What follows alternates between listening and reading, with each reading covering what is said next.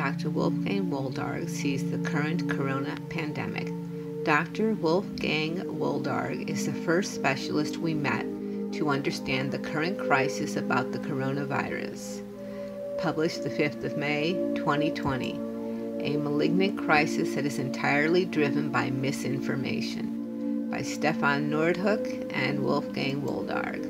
The now world famous Dr. Wolfgang Wodarg, who has decades of experience with viruses, epidemics, and their consequences, presents his vision on the corona crisis.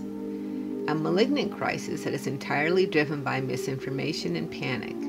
On the one hand, a corona test that detects old coronaviruses that have been circulating among people for a long time. Performed in ever increasing numbers, these, by definition, result in ever increasing numbers of positive tests, alarmingly labeled cases. A flu wave that in the medical world and the media only consists of corona, and where all other respiratory viruses that also participate suddenly disappear from the picture. A worldwide total number of flu victims that is completely in line with other years. And on the other hand, a disease, COVID 19 that has no specific symptoms but is mainly caused by panic. Panic that has caused problems for hospitals and healthcare providers in various parts of the world, not because of the disease itself, but because of other diverse circumstances, including population structure, health quality, and capacity versus care, and the often fatal ICU breathing treatment, aka intubation, ventilation.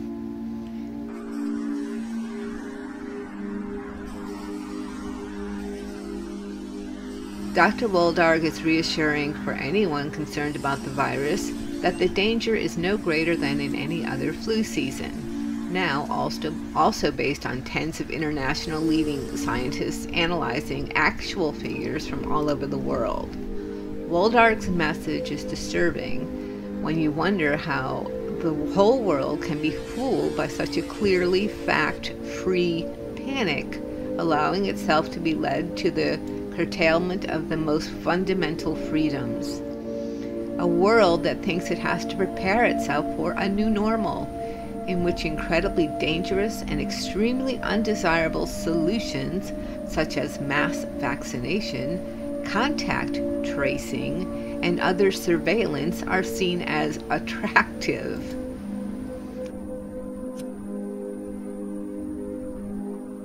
Wodarg warns for a new wave of cleverly induced panic and thousands of unnecessary deaths as the COVID 19 hydroxychloroquine treatments that are now being prepared in the hundreds of trials by the WHO will soon be carried out in Africa 10 to 20 percent of the male population of former malaria areas have favism, glucose 6 phosphate dehydrogenase deficiency, or G6PD. For this large group of people, treatment with hydroxychloroquine is often fatal.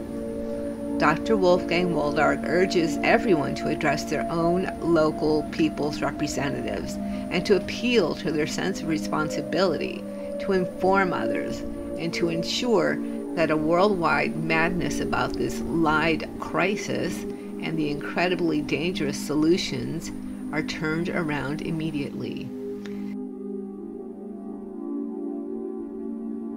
Dr. Wolfgang Wodarg, born in 1947, is an internist and pulmonologist, specialist for hygiene and environmental medicine, as well as for public health or in public health and social medicine. After his clinical activity as an internist, he was, among other things, public health officer in Schleswig Holstein for 13 years lecturer at universities and universities of applied sciences, and chairman of the expert committee for health related environmental protection at the Schleswig Holstein Medical Association. In 1991, he received a DAAD scholarship to Johns Hopkins University in Baltimore, USA, in epidemiology. As a member of the German Bundestag, Bundestag from 1994 to 2009, he was initiator and speaker in the Enquete Commission Ethics and Law of Modern Medicine, member of the Parliamentary Assembly of the Council of Europe, where he was chairman of the Subcommittee on Health and deputy chairman of the Committee on Culture, Education, and Science. In 2009, he initiated the Committee of Inquiry into WHO's role in the H1N1 swine flu in Strasbourg, where he remained as a scientific expert after leaving Parliament. Since 2011, he has been working as a freelance university lecturer, doctor, and health scientist, and was a volunteer member of the board and head of the health working group at Transparency International Germany until 2020.